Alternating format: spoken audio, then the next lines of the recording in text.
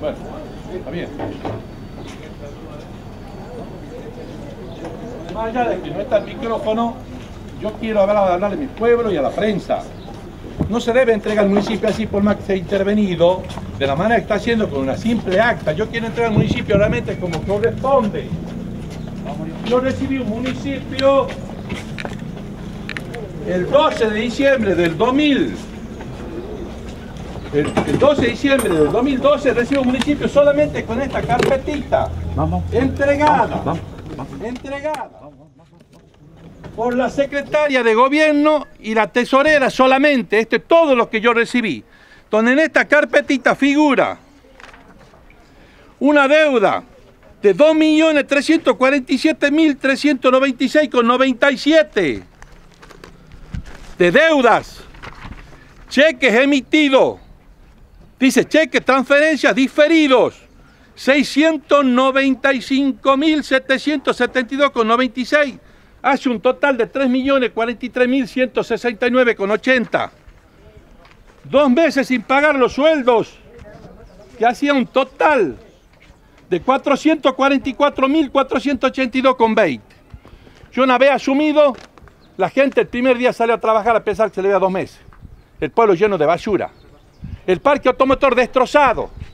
Hoy el parque automotor está funcionando. El parque automotor. El gobierno a mí me ayudó 50 mil pesos mensual durante un año para pagar esta deuda. Esta deuda. Y el parque automotor hoy está funcionando. Solamente el único que está roto es el tractor Baltra que ayer se rompió el embrague. Quiero informarle. De esta manera se debe, debe entregar el municipio. Acá están todas las órdenes de pago año por año. Año 2012, año 2013, 2014 y 2015, que está allá. Aquí está todo lo que está con orden de pago como corresponde. Esto es 2014 y esto es 2015. Y estas son las obras que se está haciendo. Tenemos todos los sueldos pagados al día, contratados. La parte permanente, todos.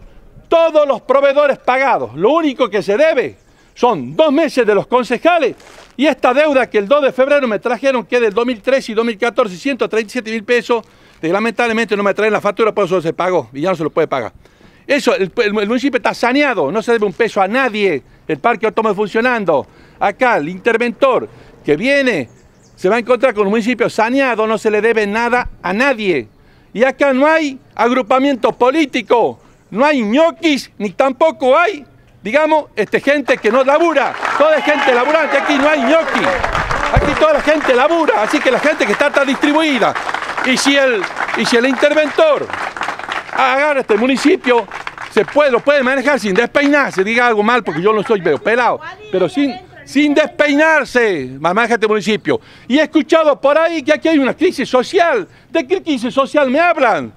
¿Qué gente se le ha negado algo? Hemos hecho piezas a los discapacitados, le hemos entregado casa de madera a los discapacitados, hemos hecho casa a los que se le han quemado. ¿De qué crisis social están hablando?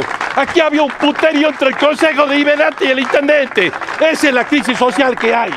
Y gracias, a Dios y le agradezco al gobernador que haya intervenido los dos poderes, porque ahora se vamos, tanto el Intendente como el Consejo de Liberante, a Comeaca. Yo, gracias a Dios, me voy a la finca a laburar. Me está esperando un tractor con una rastra para ir a laburar. Muchísimas gracias y espero que todos los medios pasen esta nota así como pasaron todas las porquerías que pasan. Muchísimas gracias.